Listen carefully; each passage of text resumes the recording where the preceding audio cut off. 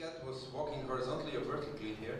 But what is the mathematical inspiration? Well, if you have a cat, a cat, when you drop a cat, it always falls back on its feet, doesn't it? Can you agree on this? Okay. Most cases. Always. No?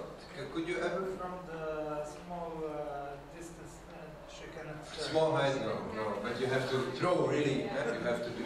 Okay. So, but if you have a piece of bread, and this is again in zero gravity, where they are doing some other tests to see what happens when a cat falls in zero gravity. But okay, we will not do this here. Uh, but the, the thing is, if you have a piece of bread and you put jam on it or chocolate and you it falls, what happens? It always falls on the part where the jam is or the chocolate is, no? It's more marshmallow, it's not true. So, well, anyway, I was trying to figure out what would happen if, because the paradox is, what, what happens if a cat, if you put butter or chocolate on the back of a cat, would it fall on... You see, mathematicians are interested in these kind of questions because they look like mathematical paradoxes. Unfortunately, I cannot do this anymore because my cat is dead. So, these kind of things are the unusual things I normally do, like this demonstration, if you know the Yoshimoto cube, uh, it's a cube, you open it, and there's a star in there, and this star again transforms into a cube like this. You can actually easily download it, and you can uh, cut it out in paper and make it. Sometimes I bring these models and I do a show with this, but, well, they wanted something more calm this time, so uh, I do this then in black light, and everything is dark, and then I do this demonstration. You can also do this by unfolding objects, and then I put uh, a little puppet in the object as a kind of magic trick. Do you have these shows like uh, Serbia Got Talent or X Factor, or do you have these things? Yes. I was to, supposed to participate in such a show on July the 5th with this thing here. But the dean of my university said that I would better not do it. He's right. because he said it's not good for the image of the university. so he actually forbid me. Somebody said that it's right, so okay. No, it is good for the image of university. But to For participate sure. there. And you are. Well, but I couldn't. So another thing is, this is something that's rather known in mathematical art things. If you have these sticks and you cross these sticks like this, actually you don't need the rubbers. They fit like that. There's a Japanese guy who does big, huge sculptures with it. Then you get a volume in between there. But you cannot really see what the volume is because you have to guess what it is. So I asked my art students, my architects, how can we visualize it? Well, they said we will put some light in there with straws and then you can visualize it. But I said, no, it's not much better. The only thing we see is this. It's not good. So they thought a little bit further and finally this student and this student, and this is somebody else, they uh, agreed on making this and then when it's dark, then you can really see the intersection. So here the artists found a solution for the problem of the mathematician who could not really see what the intersection is. I like this a lot, this thing here, because it was so convincing that you could see the intersection. Okay, perhaps you're thinking now, this guy is very quick to make him happy. It's very easy, but. Uh, this is uh, another illustration I did, an unusual one with students, Pappus theorem. Uh, I don't need to explain this to the mathematics teachers that you are, but in short, it's when you go from A to this point, to that point, to that point, to that point, to that point, and you turn back, then these intersections are all on one line. You can also do it like that. It always works, no matter how you choose these three points. Pappus theorem. But mathematics, we do it on chalk, with chalk on a board, or we do it on paper with a pencil, or perhaps we do it in the sand, like the Greeks did. But, uh, but um, Plato, he said that mathematics was something in the sky, and that we, on the earth, we see only the shadow of the ideas. You certainly know the metaphor of the cave. So mathematics should not be done by chalk, should not be done with a pencil, should not be done on a computer screen. Mathematics floats somewhere in space. So what did my this, these students do? They said, well, let's illustrate it with laser light, because when you have a laser, you don't see anything. If I switch, the only thing you see is the point there. So they said, well, let's illustrate it with laser. And so they projected here these lines, and then suddenly, Star Wars, what you do, you are ready to, with a red laser, you are ready, you are ready to show. They are all on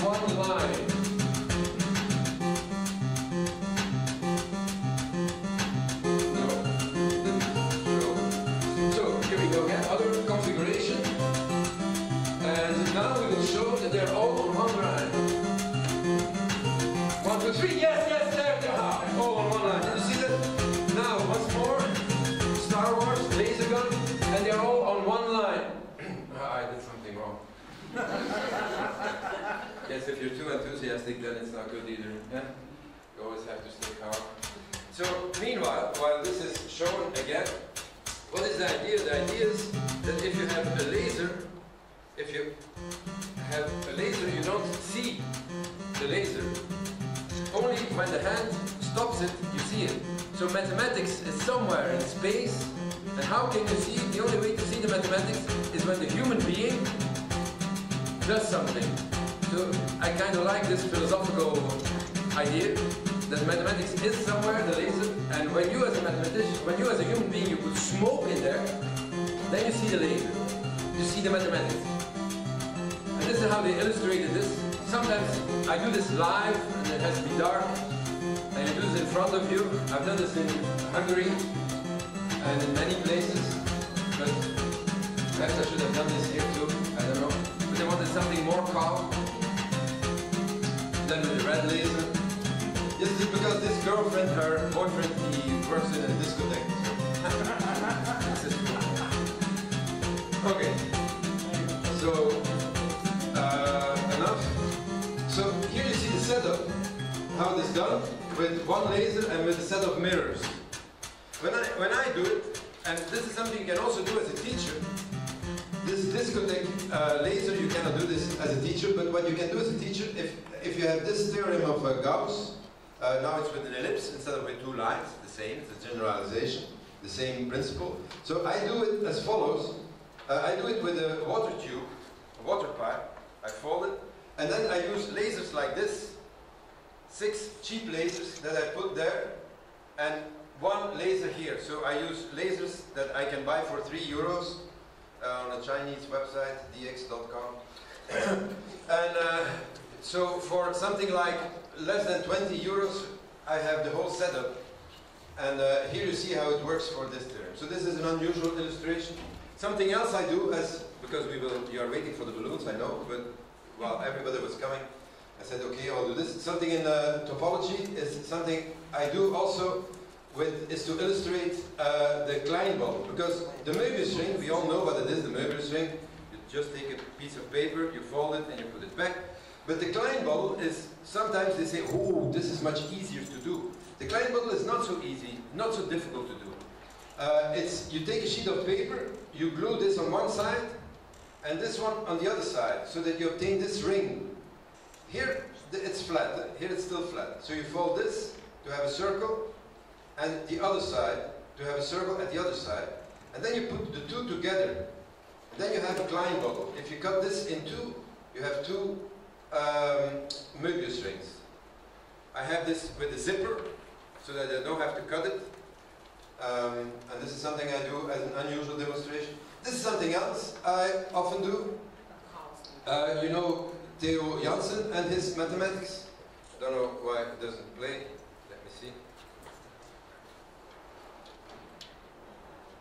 I tested it.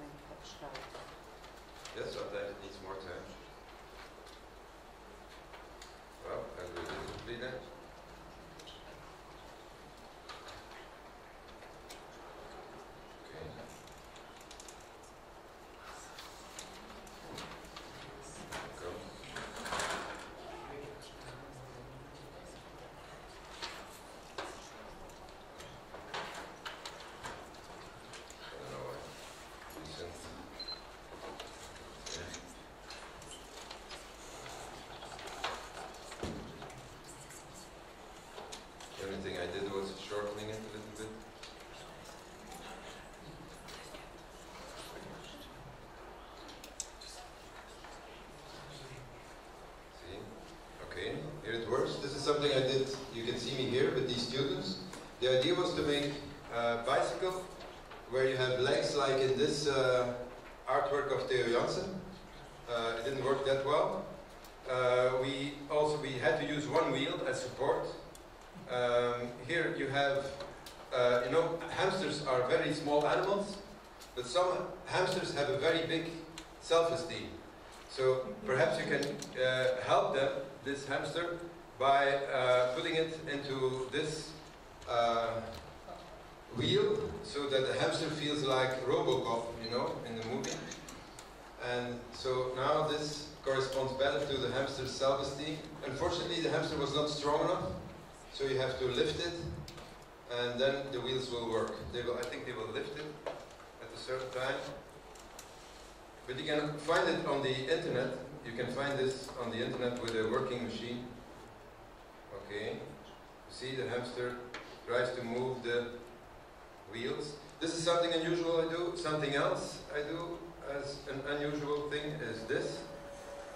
And I will go back. Oh, yes, here it is.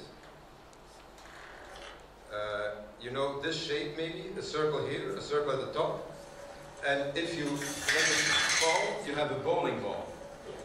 Uh, you have a tennis ball here with a circle there and a circle there. That's the same thing. It's spherical. And the thing was, it goes, it always goes straight. The idea is it goes in a straight line, but in zigzag. It goes zigzag there, zigzag there, zigzag there. It goes in a straight line. So the idea was, could we design a bowling ball like this? Could you use this as a bowling ball to uh, make it work? Unfortunately, it's not possible. When you throw it, it goes in one direction or in the other direction, depending on where the circle on which it touches. So then you will wonder, how is it possible, possible that it does work on this movie? It's because we, we cheated. We let it fall on an inclined plane. So we don't throw it. The, the, the floor is inclined, but you don't see it. So this is how we make it work. This is moving geometry. This is something I normally do in a live demonstration. And this works well with mathematicians, especially when it's with two partners, a girl and his and her boyfriend. Then they struggle about who has to move it or not. Uh, this is a hexagon shape there too. And if you move on one, the other opens. If you move on the other, the other opens. So it's not, it's moving geometry. Okay. Um, this is something else. Uh, you know, if you have two bottles, and you, if you have one bottle and you whistle into it, it makes a tone.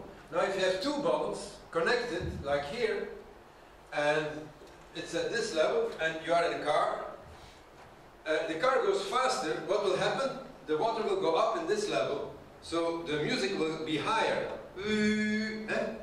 If you go even faster in a Porsche, what will happen? It will go even higher. So the idea was, can we make music this way? So you take a bottle, do, re, mi, fa, and we try to test this. You will see it.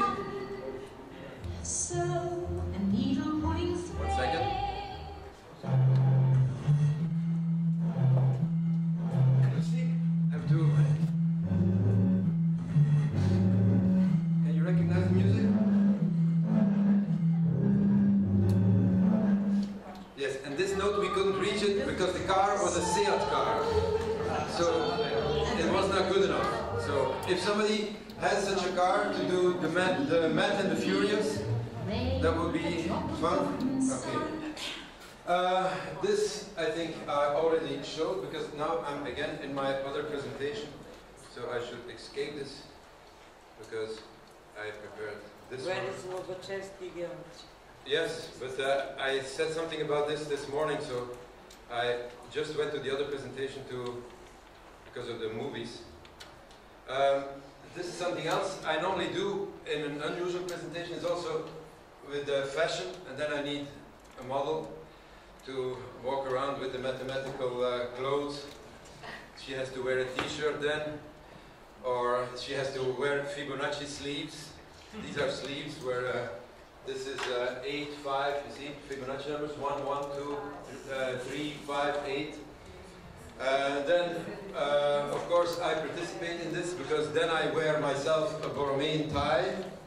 See, Borromean rings, Slavik Jablan talked about this. This is a Borromean tie. Here you have one ring, there another ring, and then another ring and the tie. Uh, this normally we don't use in live demonstrations. This is only for exams. Uh, this is a mathematical cooking show because I also have a mathematical, but I don't know why the movie doesn't start.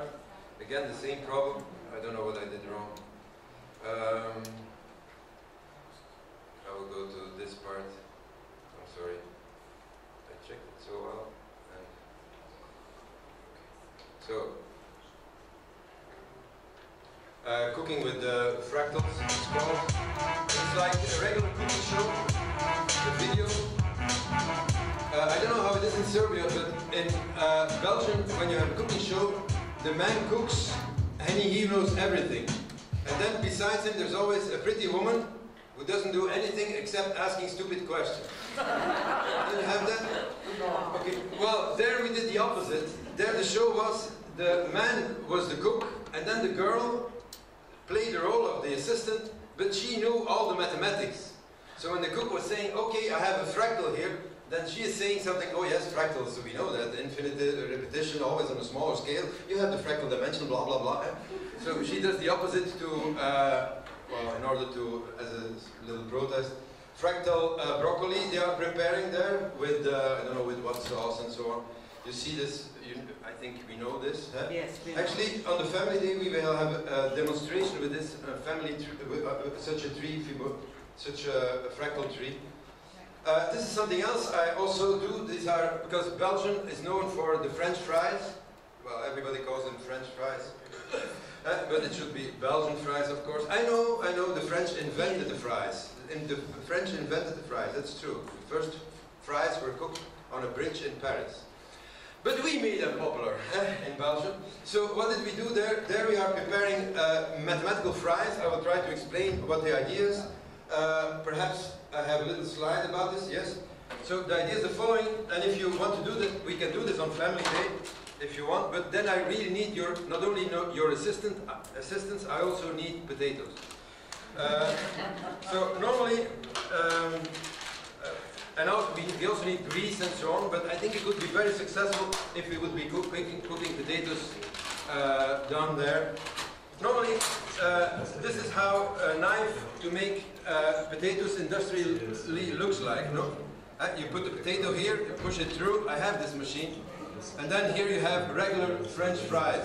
But what did we do? We have hexagonal fries. You see, it's a hexagon. And if you put the potato through it, then you have hexagonal fries. Why are hexagonal, hexagonal fries better? You should know it as mathematicians, because the circumference is less for the same um, transversal section surface. So, if the circumference is less, you have less grease. So they are healthier. And experimentally, you could show that you have 17% less grease on hexagonal fries. So if you want, you can see that there we sometimes do this in schools and so on, and people are tasting it. You see the TV there. Eh? How do the hexagonal fries taste? Mm, yum yum, they're so good, and so on. This is what the people are saying there. Uh, but of course, this we have seen that this is not so successful because the true spirit of people is they don't want healthy food. People want greasy food. eh? So we have the L-shaped fries. You can see them here. If you put the potato through it, it's an L shape, and you know from structural analysis and also in architecture, an L shape is stronger. So it means that if you put it in your mouth, it's stronger. You have more taste. Also, the surface is bigger, so it's greasy, it's fatter. eh? And people prefer this. Actually, today, the person who did this, a friend of mine, he now has a new knife, and his newest, newest invention is where the knives are arbitrary. Just arbitrary. Why? Because in, he sold one of these knives to a chic restaurant in Paris, because then they can serve the fries as if they were made by hand. And they, then they are more expensive, while if they were done by machine. But they look arbitrary. Clever thinking. eh?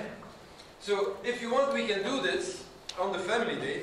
We can do the hexagonal fries in Belgrade. You see the knife there? And you see the explanation that I was just giving. I forgot that, that I had it. Of course, you could say circle fries would be better. Yes. You could say, but then you have too much loss here. What do you do with this? You can make mashed potatoes out of that, but you have too much loss. So in fact, hexagonals are better. Uh, then it says 10%. Yes, it is 10% if you just compute the fat, but you gain an extra 7 because you have to cook them less long than the others because the surface is less. L fries. So I also do the golden taste. you know what the golden number is? 1.618. If you have um, something to put on the fries, whatever, uh, salt, eh? uh, if the holes are open, it's 100%. You can determine what is 100% taste. If they are closed, it's 0%. If it's half open, it's 50%. 50% of the salt that you, 100% is at the time when you say, oh no, this I cannot eat anymore, it's totally salt. This is what you call 100%. So half open is 50%. This is another way to say 50%. It's the same thing, but you can also work with two discs. If you work with two discs, it's easier to say, for instance, imagine that you have to eat a steak with fried potatoes. And you want to distribute the salt. What can you do? You want, for instance, 50% on the fried potatoes, and you want 50% of 50% on the steak. Then you will have, here you will have 50% and 70%, 5% for each half. So that means 37.5% spice. I will go a bit quickly over this. If you use the golden number, you put 0.618. These are, this is the decimal part of the golden number, 1.6. And if you take 0.618 or 0.61, you have 38% that you can put on the meat, on the steak. Now, if you add them, you have 61 plus 30.2, that's 100%. So then it's evenly distributed. So the idea is that if you put a golden section distribution on the french fries and the square of the golden section on the steak, okay, I'm being too long here. You're waiting for the balloons. I will do that. uh, chocolate. This is something else we did. Uh, chocolate. Uh, chocolates normally chocolates are square in a box, but what happens when you have a chocolate box with squares? They break easily. Squares or rectangle with chocolates. They break easily, so they have to make them thicker. Otherwise, they break too easily. But if you would use a hyperboloid, like here, a hyperboloid is structurally stronger, so they can be thinner. Ah, so in the shop here, you see my students selling hyperboloid chocolates. Uh, this was a big work actually. We needed six students to do this. You see here all these students because the first year it didn't work and so on. I also did uh, uh, uh, praline, the praline. Do you say this in Serbian? Yes. The praline? Okay, because in France they don't say that. In France they say des bonbons. So, uh, yeah, uh, that's why they're French. Uh, so, uh, the praline, but what I did was not the praline, but the piraline. and what are piraline? I will tell you. This is a poster I made where three is orange, one is red, four is yellow. So, three, one, four, the number pi. Eh? 3.1415926535798 5356424 or something like that. I think I'm wrong now. So with this friend uh, who has a chocolate shop in Bruges, that the two students sitting here visited. And what is your opinion about this chocolate shop? It was amazing. Yeah, thank you. Okay, they visited it during their visit in uh, Belgium, and you heard their opinion. Okay, I did already enough. Okay, so uh, in this chocolate shop, you can see him uh, making. What is he doing here? He is making uh, decimals of pi, three, one, four numbers, and the three is filled with one taste. The three is filled, for instance, with banana. The one is filled with uh, cookies. The four is filled with rum. So when you eat the decimals of the number pi, three is banana, one is cookies, four is uh, what should I say, fondant, eh? and then again there is a one, so that's again the cookies. So since the decimals of pi are randomly distributed, this is an unproven theorem, by the way. Uh, since they are probably randomly distributed, um, you are sure that the taste in your mouth will always and ever change. so you are sure that you have an infinite uh, taste adventure. Okay. Uh, this is something else I did, an ice cream, uh, and there should be a movie there, but I must have saved it in the wrong version. Oh, it's again the chocolate movie. This is not possible. Uh, what did I do wrong? So this one here, um, hmm, I will use this. Okay, this is a, a theorem in uh, geometry uh, where if you have a sphere and another sphere and they are cut by a plane, imagine that the intersection is an ellipse. It also works for a parabola or a hyperbola. Here you have the two foci, and this focus will touch this sphere exactly in this focus. So the sphere will touch the ellipse in the focus. This sphere will touch the ellipse in the other focus. So the idea was now, as you can see there, this is where I live. I live at the beach. I live at, my house is at level minus one, under sea level. This is why I'm such a negative person. Okay, humor.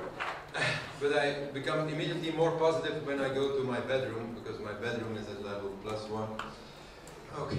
So the idea was, can we do this ice cream with a cookie here, a biscuit, and here we have an ice sphere, and here another ice sphere.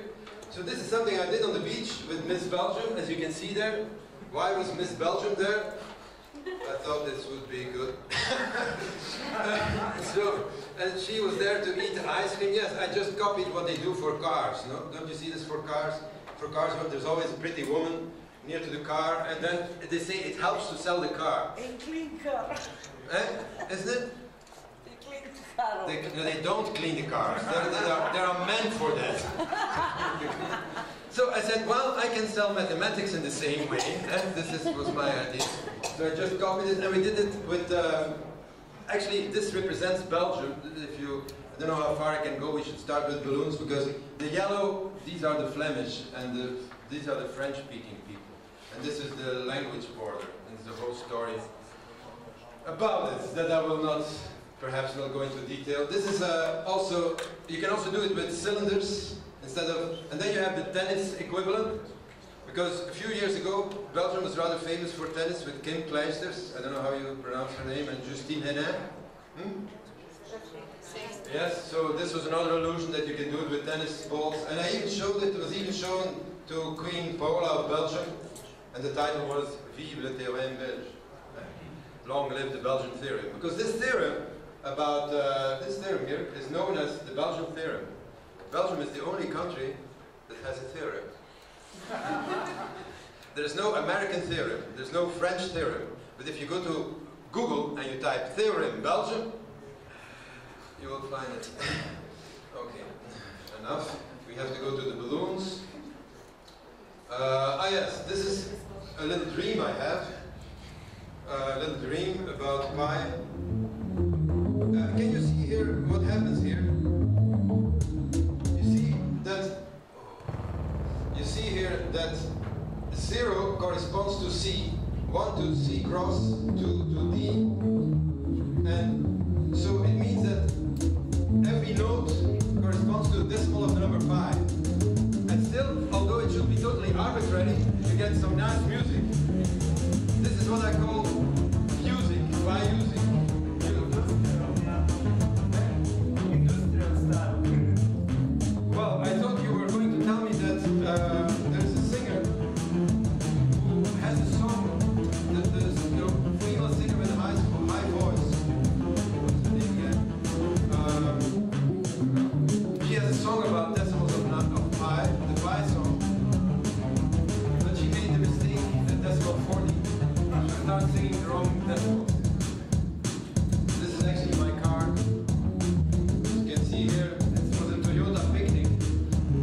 But I the Toyota. But I had a car accident, and now it's 3.14 on the license plate. Uh, this is at my house.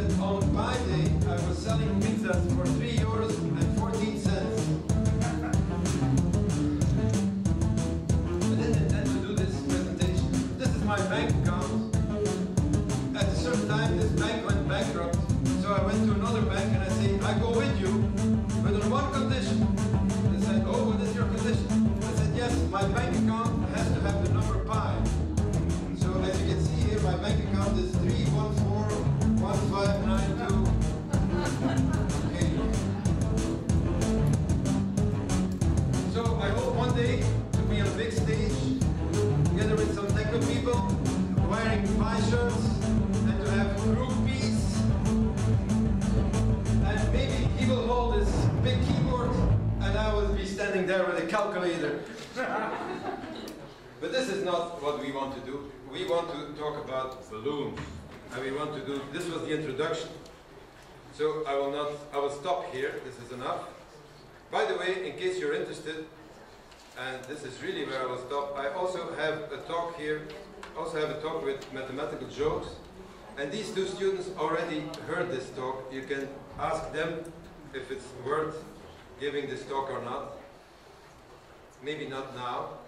Now, It's one hour and 15 minutes. well, 10 minutes, 10 minutes. It's one We hour and 15 bar- minutes. 15, okay. Wow, it's a whole story. 3.14. Well, this is my desktop. as you can see. then you're getting in the mood, eh? You're getting in the mood. This is my desktop. so normally I have to do as if now I have to start up the PowerPoint. You see? Okay. Because you have to see something here. See where the trash can is? At the desk. Okay, I see people are understanding this. Then I'm doing PowerPoint, blah, blah, blah. And then the question is, are mathematicians funny? But I should not be doing this, I should be doing the balloon workshop. But Forget. we can do the, I can do this talk under one condition that you all promise me that on. Family Day, you will all do together with me an attempt to break the world record of balloons. Hmm? Okay. Well, should we really try that? Yes, we are with you. Yes, but we should be sure then, because we will invite journalists, as I said, maybe not CNN, but we will invite some journalists, and then we should be sure. Are mathematicians funny? It's a collection of humoristic remarks by mathematicians, and the reason is mathematics contains truth, as we say. So maybe if we go after the jokes, maybe we'll, we will learn the truth. I know that in Serbia, sometimes you make also jokes about other citizens and so on, so maybe it's a way to... Um, I also have a puzzle on MNM radio. You, they know that because they remember how nervous I was with this uh, puzzle. Because before me there was DJ Freak, Wincy. and then after DJ Freak, Wincy, it was Professor Pi. I was standing there. okay. Uh, so, introduction. Of course, I have to thank the uh, Belgrade Metropolitan University for the opportunity to hold this talk. But since I'm a mathematician, I'm very precise. So I also have to thank the organizers for the opportunity to thank them that I can thank them. Of course, we are very precise, so I have to add a note that I thank them for the opportunity to thank them to thank them. Of course, we mathematicians are very precise. And I have to thank for the opportunity to thank them that we can thank them. Hmm? And uh, of course we can go on like that, but we mathematicians, we have a solution for that. We just introduce the nth word of thanking, and we reverse, refer to the nth plus one, and we say you continue like this by induction. Okay, this is slide two of 340. Uh, now, uh, so, I will not talk about this. I will not talk about the fact that once in Brussels, in Brussels we have a major athletics meeting. You know, there are four meetings in athletics in Rome, Zurich, Stockholm, and Brussels. And there I convinced the organizers to do the 400 meters in reverse order. Um, so normally everybody is looking like this. 46 seconds or thereabouts. And then suddenly they had to look like this. It was total confusion. And you can even hear who did this. 46.7 seconds. I'm not quite sure what it proved, but it was, it was odd to look at. Just some mad professor from Ghent. I'm so lucky to And Professor from Ghent, that was me.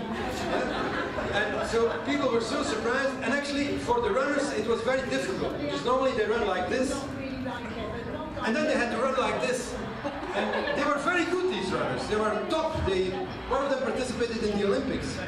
So, and he explained he didn't win, although he was the fastest runner, because he was so not used to running this distance. And the person who won was the youngest one, because he was not misformed like the others.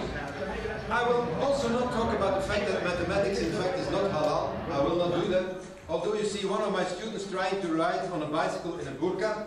Actually, they also do this in Iran. It's, um, it's not for fun, it's a true story. I will not also, I will not talk about the fact that the forbidden fruit in, uh, what do you think is the forbidden fruit of paradise? What do you think is the forbidden fruit of paradise? What do you think? Forbidden fruit of paradise? What did Eva eat? An apple, everybody says an apple, but I discovered that it was a lemon. Together with Beatrix uh, Meiji from Hungary, we discovered that on this painting it's a particular kind of lemon called the Pomum dadami. If you want to know more about that, please ask me.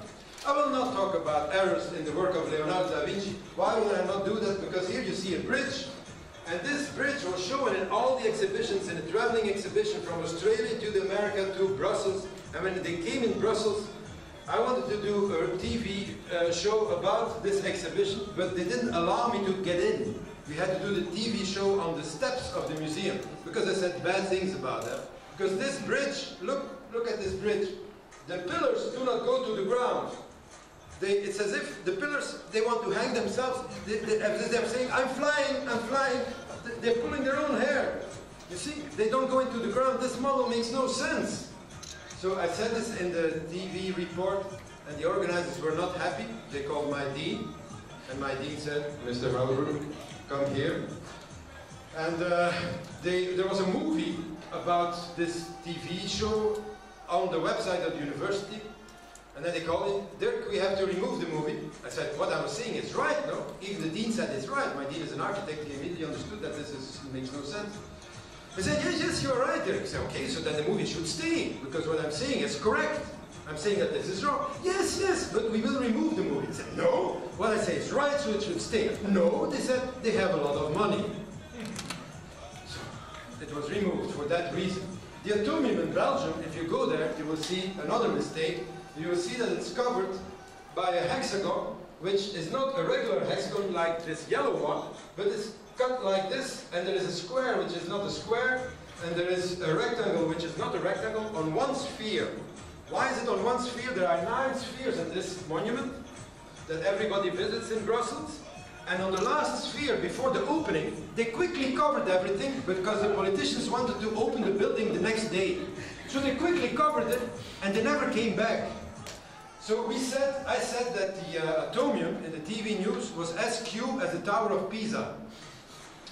And the director, when they were filming, they said, okay, Mr. Director, what do you think of this? And he blah, blah, blah, blah, blah. And then, ah, and there's Mr. Huylebrouck. What do you think of this? And they turned the camera to me. And then the director of the museum, he, he saw me, he said, ah, it's you! It's you! It's you, Mr. Huylebrouck! We will see each other again. We will see each other on Wednesday. Prepare your lawyer. We will see each other in court. he was not happy. He was not happy. He was very angry. I never saw him. Actually, he did this, everything in French, because he spoke French. And since he didn't speak Dutch, he didn't understand what I said. He thought one of the spheres of the atomium was fallen on the ground. and since he didn't understand the language, he, he consulted the whole press and said to the whole press, it's not like that. Also, I did something about the airport in Brussels. Airport in Brussels 02 has a number. And uh, maybe I should start the balloons. I see that some people have enough of it. Should I start the balloons? No. Uh, Satakachi, should I start with the balloons? Maybe I, I have a tendency of overdoing it, I know it, so I have to be warned. If I'm exaggerating, you have to tell me. Then we immediately start. No, no, no. In, in Brussels airport, uh, it's, the number is 02 because the angle with the North Pole, the magnetic North Pole, is 20 degrees. Air, uh, runways on airports are oriented following the magnetic North Pole. This is the North Pole, 20 degrees. So they call it 02 because this is 020. From the other side, it's 18 then because 180 plus, then it's 20, so 20 plus 180. So it has the number 20 because of the 20 degree orientation, but the magnetic North Pole uh, travels around, it changes. So I had found in a report of a crashed buoy that the orientation is now 14 degrees. So that the number should be 01. Because if you round it off, 14 is 01. So I wrote a paper in the newspapers about the wrong number of the airport of Brussels. Yes, they didn't find it so funny. Uh, but- and for five, six years, they didn't want to change it. And I always made a joke, how can you know that you're flying above Belgium in an airplane? Well, like this pilot, wrong number, this must be Belgium. but finally, I wrote a book about these things, three actually. And when my book appeared, I got a call from the airport of Brussels, and they said, Mr. Huylebrouck, you will change the number. so, on September 19th, they changed the number. They had enough of it. Okay, so this was good actually. I will not talk about the Ishango rods, the oldest objects in mathematics. I will not do that. I will not talk about ma- paranormal mathematics. It's something I did in Antwerp with this uh, paranormal guy. It's, some people believe in paranormal things and so on. So we did a whole show with a mathematical formula to compute how paranormal somebody is. So you have to hold something, and then for, for some people, it starts to move. eh? Not because they move their hands, bec- because of their brain waves. And so then I compute the frequency eh, of the pendulum and so on. And then also they have to sing like I compute the frequency. I put this in a formula, as you can see there. Why are there logarithms? This is just to show off. Why is there a big square root? It's to make it complicated. Yes. It has totally no sense. But the day after, people phone me to know the formula. and I have to tell them, I told them, together with the magician who was involved with me, uh, we agreed that we would not tell the formula because it could endanger the world. this is something I did in uh, Belgium too. This is an artwork, Fibonacci artwork, 100,000 euros it costed. It's in Belgium. There you can see 1, 1, uh, 3, uh, 3 plus 2 plus 3 is 5, 5 plus 3 is 8, 8 plus 5 is 13, 13 plus 8, is 21, 21 plus 13 is 34. Everything goes well, but what did I notice? Here you have 1097, here you have 2000, and this is not the sum. so this is wrong, all this part here. And this person, this person who made this uh, artwork of 100,000 euros, uh, when the mayor of this city, when I wrote this in the newspapers, the mayor of this city said that he should repair it immediately. and the artist said, I never got any money. And then the mayor said, yes, he got all the money. Here's the proof from the bank. And then he said, Mr. Huylebrouck, you, you, you can find it on the internet what he said. I will not talk about the fact that actually Hungary, uh, Congo should have been Hungarian. That. Here's a proof. If you want more information about this, it's actually because the wife of King Leopold of Belgium, who took Congo as a colony, was from Hungary. She was Maria Hendrika. She was born in Pest. I will not talk about Alan Turing. Alan Turing was a mathematician who, after whom is called the Turing Prize in computer science. And he was actually well, a mathematician. He was actually a pure mathematician, although he's now catalogued to be a computer scientist. But he worked on Zeta and so on. And uh, here's a statue for him, and you can see that this statue seems to weep, like some Maria statues, because it was made of different kinds of metals. And why did he weep? Because he should have been a war hero, a hero of the war against uh, Germany, because he broke the code of the Germans with his Enigma machine, the Enigma code. And he should have been a hero, but he committed one crime, which was a big crime in his time. He was homosexual. So, because of his homosexuality, he had to be condemned to chemical castration. He refused it and so on. Long story, he committed suicide. Some people say he was uh, poisoned by MI5, but we will never know. But anyway, after a while, uh, there was a petition and a paper in the Mathematical Intelligencer to honor this hero, who should have been a hero. And Brown, who was then Prime Minister, Gordon Brown, after this petition and after this paper and so on, he said, yes, I will honor him, I will remove his condemnation, and we will say that he was a hero of Great Britain. The next government, Cameron, he said, no, we will not do this, because they are more conservative. And he said that once condemned, you are condemned forever. But finally, the Queen of England said, okay, yes, we will say he's a hero. Hooray for the Queen of England. Okay. I will not talk about the head of a French-speaking mathematician in Antwerp. I will not do that. Uh, I will not talk about the zero gravity. I will not talk about the wheels that are constructed in the wrong way somewhere in Belgium. I will not talk about mathematics through a beer glass. You know, some pe- several people here have talked about uh, illusions, uh, optical illusions. I like optical illusions through a beer glass. I don't know why. because if I drink a lot of beer, I have a lot of. Okay, uh, here, ice cream with Miss Belgium. I will not talk about it. Botticelli in Hungary.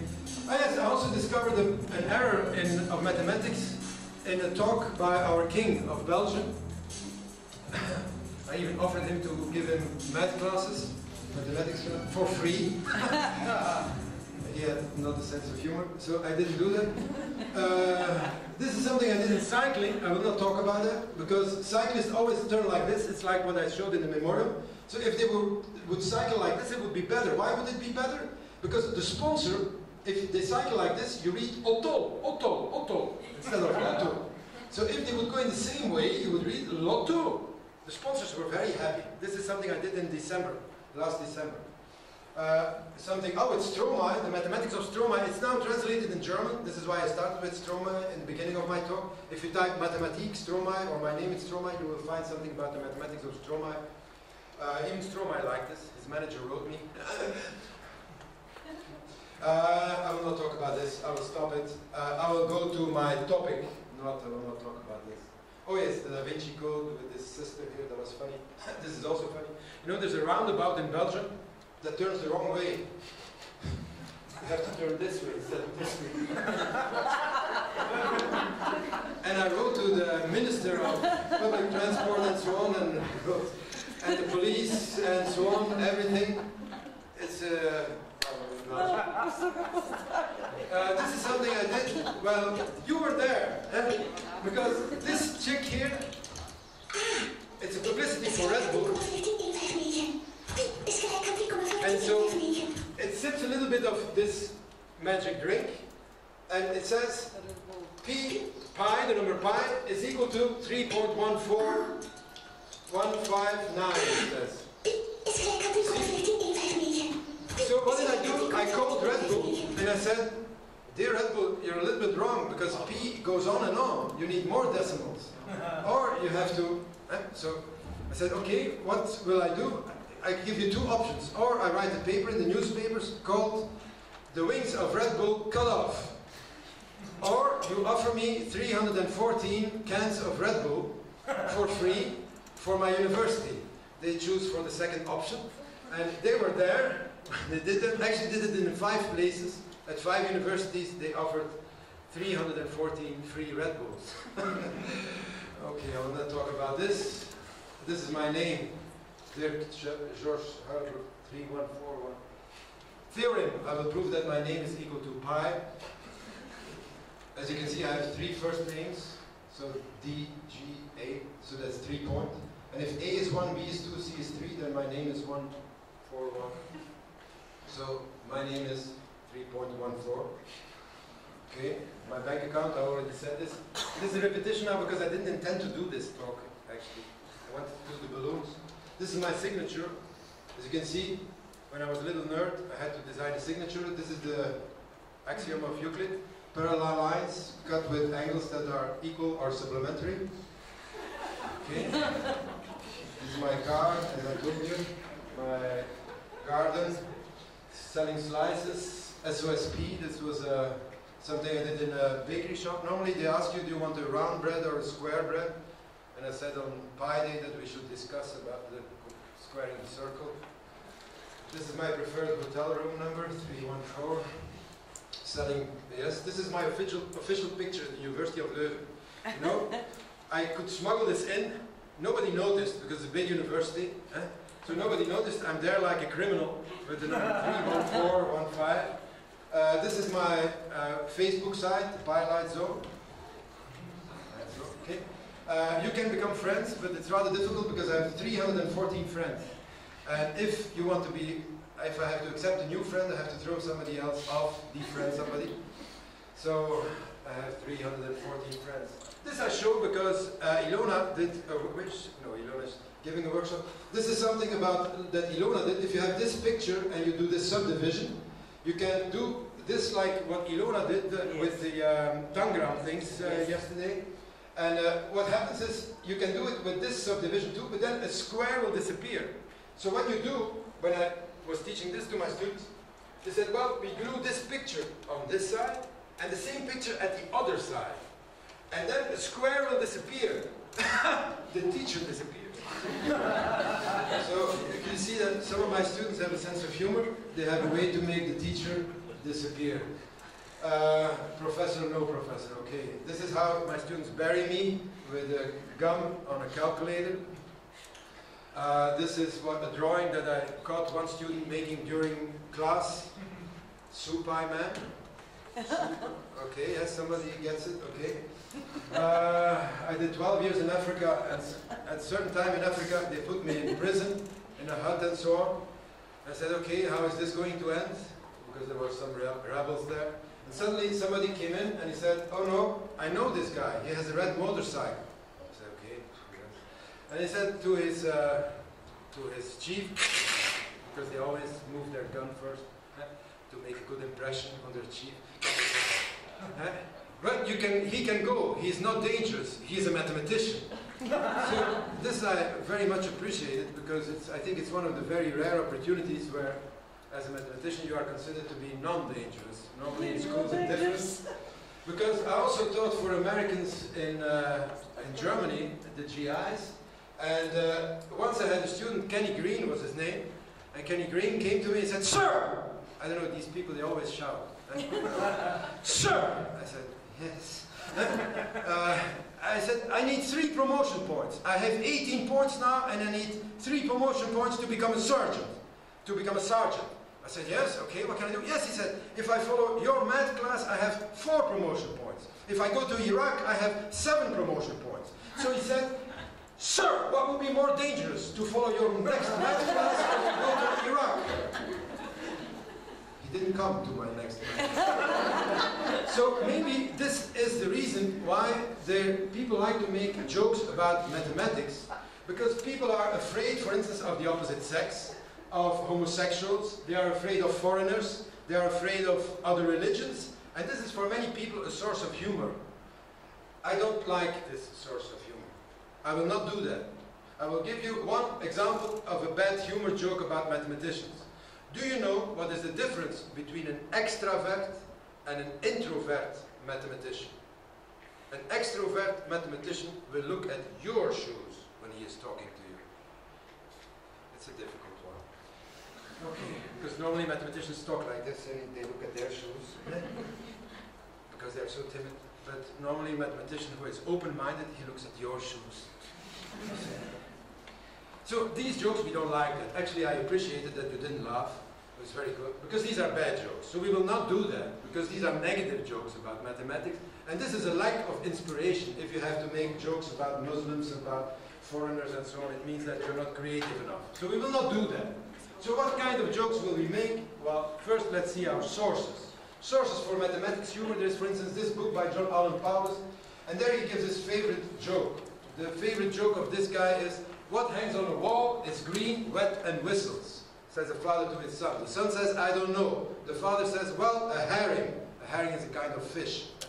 He says, well, a herring. He says, but yes, he says the son, a herring doesn't hang on the wall. Yes, said the father, but you can hang it there. You can nail it on the wall.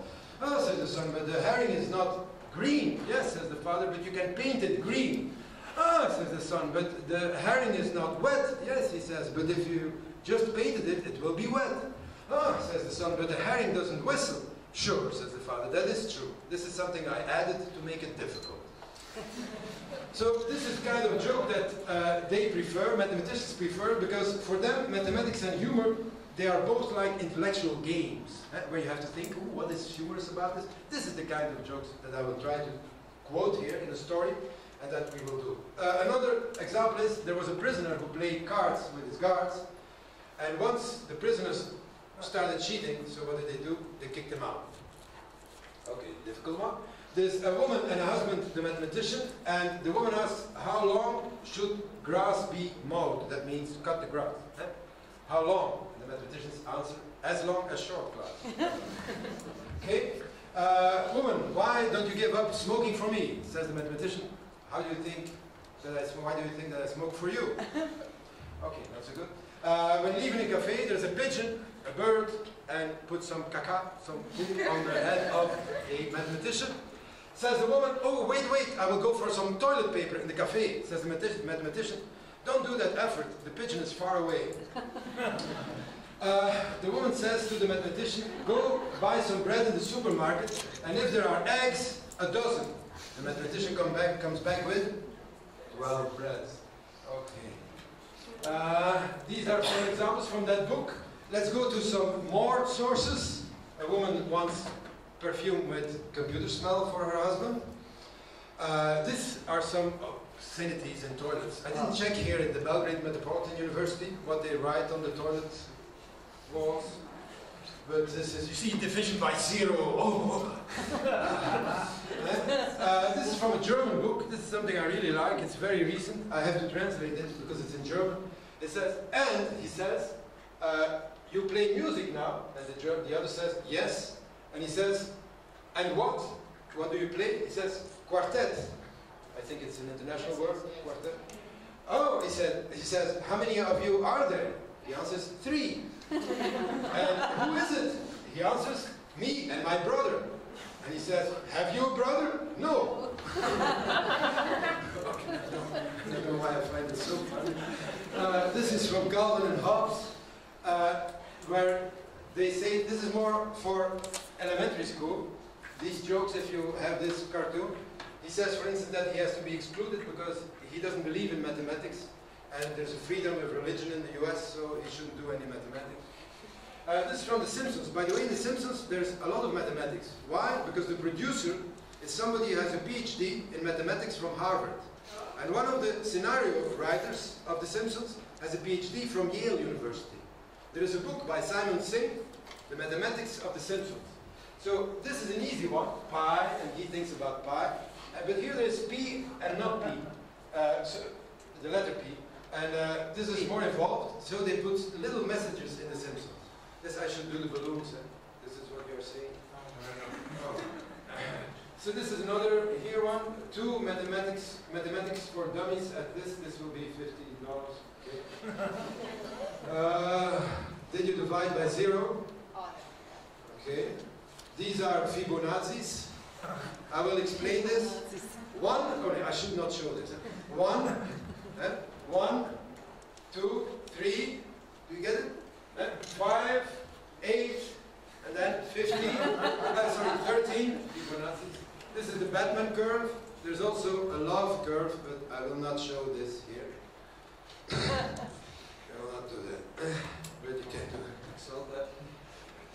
One, two, three. I have no idea. Four, five, six. What do you want? What would be the fix? Seven, eight, nine. Time is no longer mine. The teacher. 10, 11, 12. You're great. You know it yourself. this is studying maxima and minima. See, it's in different languages. This is in Flemish. This is in I don't know. Uh, this is something I get on uh, Facebook, uh, by Twitter. You have to cook it at 120 degrees. uh, a question on a talk. What doesn't fit? Mathematical biology, a PhD in math theoretical mathematics, and statistics of a big pizza. What doesn't fit in this row? The answer is a PhD in theoretical mathematics, because with all the rest you can feed a family of four. This is why sometimes you can hear plumbers in Belgium sometimes there are Serbian mathematicians who come to Belgium and then they work as plumbers because they cannot get the quality of their degree. And you can hear them discuss about integrals and so on uh, while doing the plumbing. so, and other people sit at the street and they say, I will do mathematics problems for a coffee. So, how does it come that mathematics really should be fun, fun, fun? Wasn't mathematics a serious business? How comes? Why are we apparently agreeing that mathematics is a fun activity? Well, in 1960s, this was a mathematical question. A peasant sold potatoes for $10 The cost was four-fifths of the price. What is the profit? This was a mathematical question in 1960. But times have changed. Since 1970, in modern mathematics, the farmer said, we take a collection pool of potatoes, and you put dots, and you draw a set for the elements of the brr, the profit set, and you compute the cardinal number of brr. In 1980, it was an agriculture entrepreneur, eh? and he sells potatoes for $10. The cost are $8, and the profit is $2. What was the question? Yes. Underline the word potatoes and discuss opinions with your colleagues in your study group. 1990, the agriculturepreneur sells potatoes for $10.00 because in 1980 the Iron Curtain had just fallen between the East and the West and we suddenly became all super capitalists. So everything had to be in dollars point zero zero and the cost for 0.80 and the program potato had to be run on your calculator. And you have to analyze it, what it will become in the real world, what the applications will be in the real world of economics. Because of course the only application, the only usefulness of mathematics is to become rich as soon as possible. If mathematics is beautiful, that has no, that has no sense, has no meaning. The only goal of life is to become rich as soon as possible. This was 1980. Nine, 2000, I see that you're not laughing with this, this is very good. In fact, it's not funny, eh? but this is the way how it was. In 2000, the agricultural entrepreneur sells potatoes. Then everything was on the internet. You had to consult the Internet International Potato Company and read the profit. In the year 2005, there were no farmers anymore. Oh, yes, well, and uh, so they imported potatoes for 10 euros and they sold them for 8 euros and then they funded this by a bank loan of 2 euros. This is how it happened. And then mathematics is useful because you use negative numbers to explain that you have a profit. Oh yes, our company is doing very well. We have a company, we have a profit of minus 2. In uh, 2010, there are no farms anymore, but you have heard of the bank crisis, there are no banks anymore. so what you do, you change the school playground into a vegetable garden and uh, you grow your own potatoes. Uh, you keep 8 kilograms and you sell 2 kilograms as a profit. In 2020, no farmers, no banks. Oh, schools. No, schools, yes, but you cannot grow potatoes anymore because of the global warming. Everything has become a desert. So the only thing you can do in 2020 is to look TV in front of your TV screen, and the only thing you can do is to become a couch potato. This is an expression they use in English because you eat chips and you become a couch potato. And what you do, you look on mathematic to mathematical shows on TV, and everything on TV has to be fun, fun, fun, isn't it? On TV, you never think. In Belgium, at least, you don't think. It should be fun, fun, fun, and you should. So this is how mathematics had to become fun, fun, fun, and we will now give an overview of mathematics in a fun, fun way. This is what we will do now. Two zeros, we start with the numbers. Huh? Two zeros are walking in the street. Suddenly, they see the number eight at the other side of the street. Says one zero to the other. Who? What a nice belt she has. No. Uh, sorry, first, I, maybe in English it's easier to understand. Okay, I start again. yes. Two zeros are walking in the street. Suddenly, they see the number eight at the other side. Says one zero to the other. Wow, she has anorexia. Better? Teenager burst. Two zeros are walking in the street. Suddenly, they see the number eight at the other side. Adult version. Says one to the other. Don't look, don't look. They're doing it on the street. Grandmother version. Two zeros are walking on the street. Suddenly, they see the number eight at the other side. Says one zero to the other. Oh, look, Siamese twins. this is for the number zero. Now we go to the number one. Madame Einstein, you know her better than can pronounce it better than I do. At some time, she, she co-invented uh, a device to measure electric streams, and they asked her, why is the certificate of the invention only on the name of your husband, Albert Einstein? Well, Mileva said, it doesn't matter because Albert and me, we are Einstein. okay, not funny, but I like this. This joke you have in different versions. Some people say, why could Mileva and Einstein never build a house? Because, they had only one Stein, and stone. Okay. At the beginning of the world, there were two ones, and they met each other, and they fell in love, and this is how the numbers grew. They married, they were happy, they had a child, and they wanted to call it the number two, but they couldn't because there were three of them. Okay.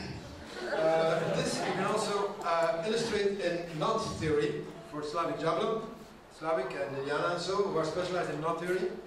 If you have one knot, one knot, uh, if you represent numbers by knots, what happens if you put one knot and one knot together? You have three knots. So one plus one is three. Okay. Uh, this, of course, is not true in Tibet, because for the Dalai Lama, everything is one. okay, perhaps this humor doesn't work because it's too soft. Maybe you're thinking this is for children. So let's level up a bit to real American style. Skip teenagers. Skip teenagers, yes. We go immediately to fear and sex. So for you, for you, what comes between fear and sex? Can you tell me? Between fear, between fear and sex. What is in between? Can you tell me? Because you want to skip the teenager thing. Oh, well, I'll tell you what comes between fear and sex. Here it is. Fünf, eins, zwei, drei, vier. Fünf, six. Can I ask you not to cheat? Because I saw somebody was helping the lady there and was showing this, and this is very nice. Uh, another thing for you again, why did five eat six? Do you know? Why did seven, five? eight, seven, eight, nine. Thank. Please an applause for this lady. It's very good. So we have all the digits from 0 to 9. Okay, mathematics starts with these digits. There was somebody in a company and he wanted to hire somebody who could tell who could count well. And he counted the first candidate and he said, Can you tell me to count to 10? He says, Oh, of course. 1, 3, 5, 9, 2, 4, 6, 8, 10. Says the, the human resource manager says, Why can't you count, count normally? Why do you count like that? Yes, he said, I used to be a postman. okay, he said, okay, let's count the next one. He calls the next one, he says, oh, can you count to 10? I need somebody who can at least count. He comes in, he says, well, yes, 10, 9, 8, 7, 6, 5, 3, 2, 1. He says, oh, goodness, can't you count normally? I need somebody who can just count. Oh, yes, well, what happens? I used to work with the NASA. he counts the next one, he says, okay, can you count from to 10? And he starts, 1, 2, 3, 4, 5, 6. Oh, he said, finally, finally, I discovered somebody who can tell. Can I ask you, could you perhaps go on a little bit? Yes, he said, sure. Uh, queen, uh, king. uh, yeah. so we have numbers, and uh, now we have to work with them. I don't know how it is here in Serbian, because here the religion is Orthodox for the majority, but in Belgium we have many Catholic schools. And do you know that in Catholic schools they teach addition better than in the non-Catholic schools? And I will tell you why. Because once there was a boy, and the boy, he went to school and he didn't do his additions. He came back home and he looked TV, said, it's not interesting. Next day he came back, didn't do it. So his parents said, okay, we'll put you in a Catholic school. They put him in Catholic school, the boy comes back in the evening, he starts doing 2 plus 3 is 5, 5 plus 6 is 13, working all day, all night. He doesn't look at TV anymore. So the parents, wow, Catholic education is very good. Okay, next day, same thing. Finally, they asked the little boy, how comes? What changed your mind? Oh, he said, well, yes, in this Catholic school we have to work very hard. Because once there was somebody who didn't do his homework with the sons, and they put them on a big plus sign at the back of the class. x squared asked x to the third, do you believe in God? x to the third says, no, but I do believe in higher powers. Why does the square never move? Because it's fixed to- with its square root. Okay, we have the operations, uh, multiplications, roots, and so on. And let's see here how they do it in America, the mathematics. And twenty-five percent divided between the five of us. Yida, Crowbar, myself, Tom, and the baby. That makes five percent for each one of us. Ha no, no, Billy, you're cheating yourself. If there's 25% divided among the five of you, that's 14% apiece. Oh, no, listen, Pa. I, I wouldn't cheat you. You know I wouldn't. Now, look. Look here. I'll show you. Let me run this out here. And now, 25 divided by 5 is 5. You see, 5 won't go into 2, will it? No. But 5 goes into Americans write their 25 division five times. different See? You're wrong, us. Billy. But that's now, not now, important. I'm a pretty good mathematician. Now, 5 into 25, 5 won't go into 2, will it? No. But 5 goes into 5 once. Now, we didn't use the two before, so it's right down here. Now, 5 into 20 goes four times. There you are. 5 into 25, 14. No, look, Pa, uh, let me prove it to you now by multiplication. Uh, five times five, five times five is 25. I'm surprised you're learning. Huh? I'm surprised that you're learning. Now I'll show you. Five times 14 is 25. Five times four is 20. Five times one is five. 25. That's it. No, no, look, Ma. You, you, look, you, you're wrong there because you, I'll, I'll, I'll prove it to you. I'll, we'll put down four, five 14s here. 14, 14, 14. There. Now, now I'll prove to you by addition that, that five 14s is not 25. Four, eight, 12, 16, 20. 21, 22, 23, 24, 25. There you Billy. I want to see you boys cheating. I have an exercise for you. It also works with 14 times 7. Uh, so, um, yes. Uh, Dedekind cut allows us to introduce other numbers, as you know. So these were the multiplication and so on. Uh, with non-repeating decimals, like the number pi and so on, the Dedekind cut. But maybe you are very interested. You want to cut the teenager thing, but we have to be a bit polite, so I put the black. But for you, maybe I should show it anyway. So Dedekind cut. okay, she said I had got a Dedekind haircut. You expected something else. I know that. Uh, anyway, we have uh, an infinite construction of decimals, and once this is very inspiring for mathematicians because once there was a mathematician who had enough of life, and he saw the railways, and he says, "These railways, they meet each other there, and I will go there." I will go to the end of the world. He had a bottle of whiskey and he said, look, look, look, this world, really. I will go there, to the end of the world. I will go there. Look, look, look. He says, really, this world has no meaning. I will go there. But his bottle of whiskey was empty. He throws it over his shoulder and he says, oh, I already passed it by. or maybe didn't tell it so well. There was also a mathematician and an engineer and they were allowed to approach a naked woman who was standing there, always to half of the distance that separated them from the naked woman. And the mathematician says, this has no meaning. We will never approach her because the half of the half of the half, you can go on like this. It will not, we will never approach her. You can go on to infinity. But the engineer says, it doesn't matter. Soon enough, we will be close enough for all practical purposes. Numbers for the number, jokes about the number pi. You know that 3.14% of all sailors are pirates. Uh, this about pizza, I already said because I didn't intend to do this talk. Uh, here you see the wife of pi who is complaining that uh, he goes on with his decimals and so on. Now I should tell you the number one mad joke, which is actually not a good one, but on the internet this is supposed to be the best joke in mathematics. There's a two mathematicians, they are discussing in a bar about how much mathematics do ordinary people know. One says, no, they don't know anything. The other says, oh yes, they know more than you could think. Okay, the first one goes to the toilet. I shortened the joke here because it's not a good one. So the first one says, okay, waiter, waiter, come here, come here. I will ask you a question, and you will just say 3.14. Can you do that? And the waiter, 3.14. No, no, says the mathematician, 3.14. Is that so difficult? The waiter, 3.14. Okay, so the mathematician, good, good, go away because he's coming back. Okay, the man is coming back from the toilet.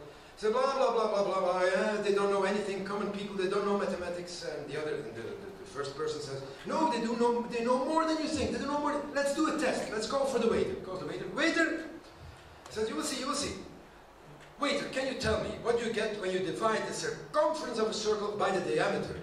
The waiter says 3.14. Says the first mathematician. See, you see, even the waiter knows pi, knows the formula. Oh, oh, oh, they are impressed. The waiter goes away. And he turns around at certain time and says, but in fact, you know, in fact it's not 3.14, but 3.14159265.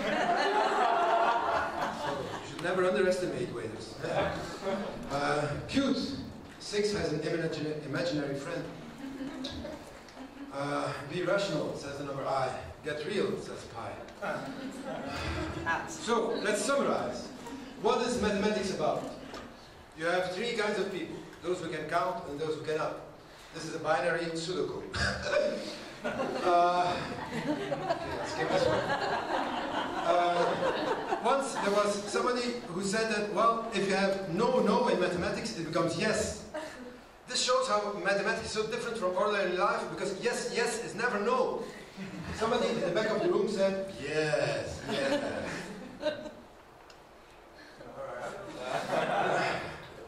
there was somebody who did logic and they asked him when he got a baby if it was a boy or a girl. He said, yes.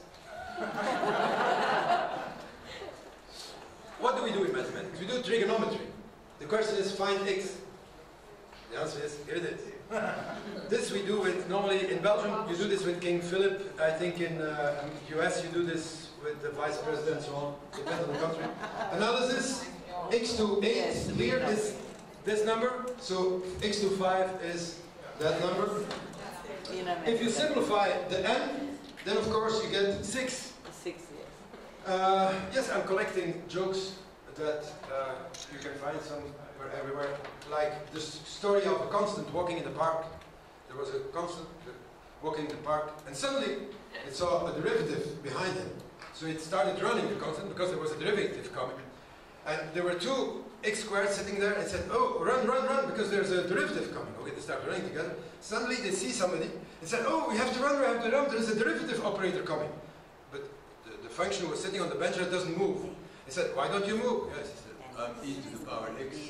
So they go on, running. He said, oh, poor guy, he shows off a lot, but he doesn't know it's a derivative with respect to y. this was written somewhere. I want, and for the lady there, the integral of e to the power x dx. Okay?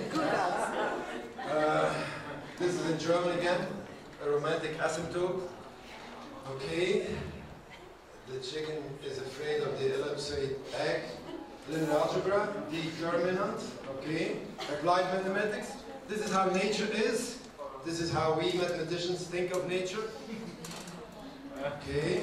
Topology, spherical cow. Once there was a, an engineer, a physicist, and a mathematician who were invited by a farmer to build a large fence. And he has, has as much wire, barbed wire, as they wanted. So the engineer made a circular barbed wire, and the farmer said, very good, a circle, eh, biggest surface for the smallest circumference, very good. The physicist, he started by making a long straight line. Says the farmer, what are you doing? Yes, he said, you said that you had as much barbed wire as I wanted.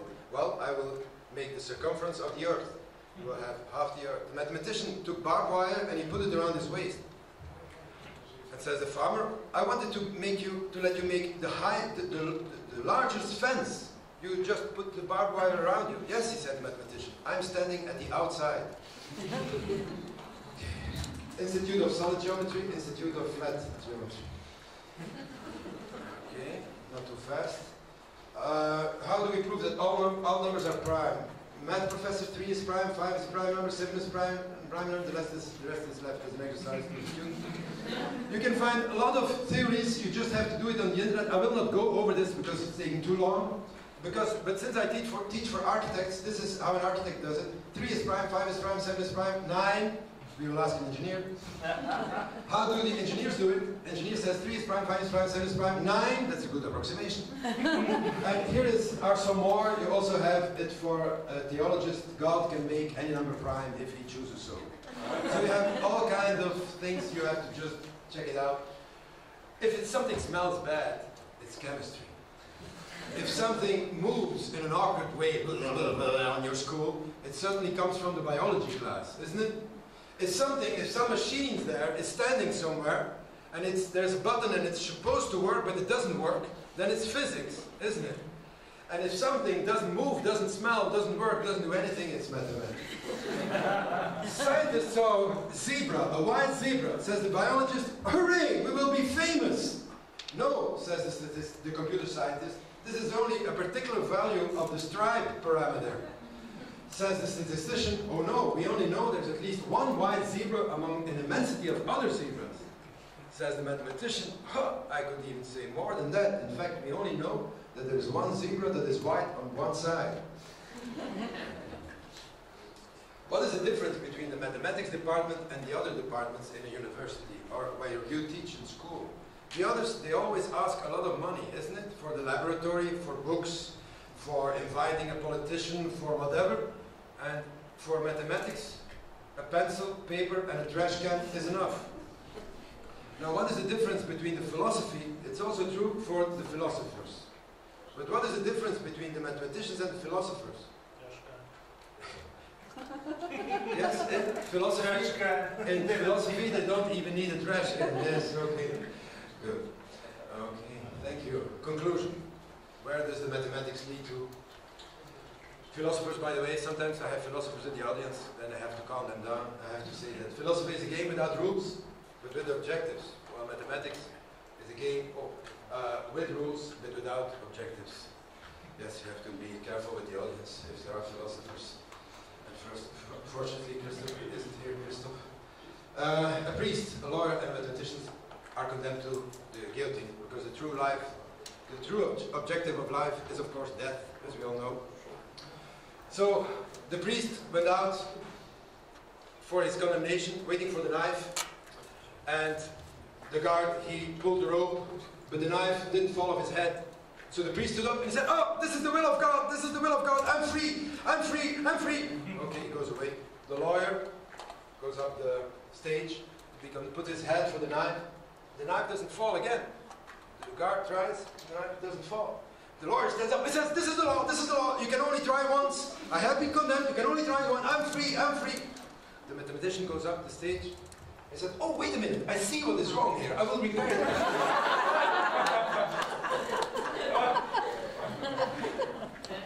so, uh, three mathematicians go into a cafe and they meet a rich person and the rich person says, okay, let me invite you for a balloon trip. But suddenly they get lost and uh, the three mathematicians, well, they say, hey, oh, where are we? They wait for a long time and after 15 minutes, somebody answers, you're lost. Says the rich man in the balloon, well, you see, the person who answered there, that was a mathematician. Say the three mathematicians, how can you know that? You couldn't even see him. He's so far away, we don't even know where he is. Yes, says the rich man, of course. Because for three reasons. First of all, it took him a long time to answer. Secondly, his answer was totally correct. And thirdly, his answer was totally useless.